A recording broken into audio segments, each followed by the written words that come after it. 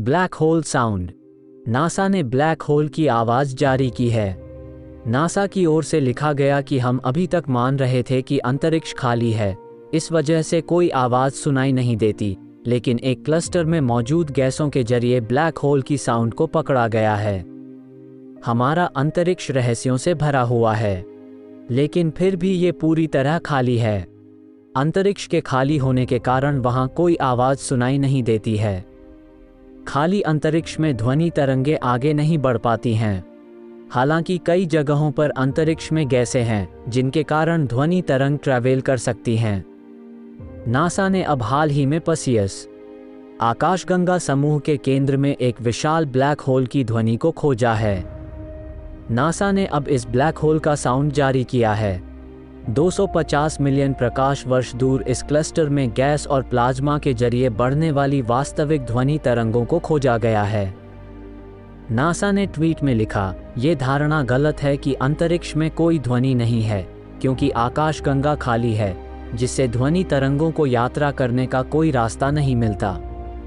एक Galaxy cluster में इतनी गैस है कि हमने वास्तविक ध्वनि को पकड़ लिया है।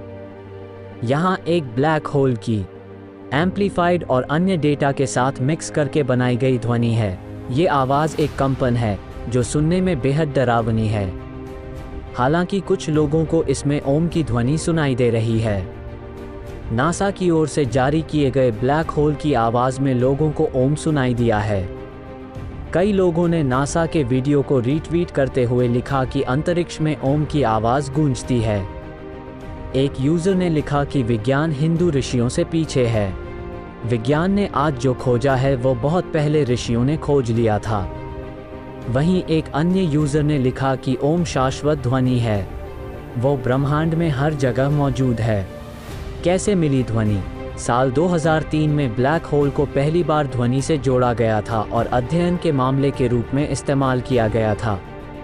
तब वैज्ञानिकों ने पाया था कि ब्लैक होल से पैदा होने वाला दबाव क्लस्टर की गर्म गैस में तरंग पैदा करता है।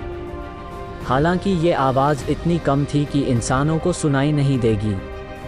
खगोलीय डेटा का सोनिफिकेशन करके वैज्ञानिकों ने इसे बदल दिया, ताकि ब्लैक होल की आवाज़ मनुष्यों को सुनाई दे सके।